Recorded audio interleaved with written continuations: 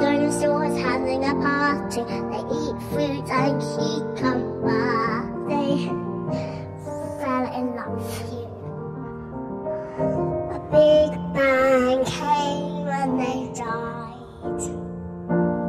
Dinosaurs, dinosaurs fell in love, but they didn't say goodbye. But they didn't say goodbye.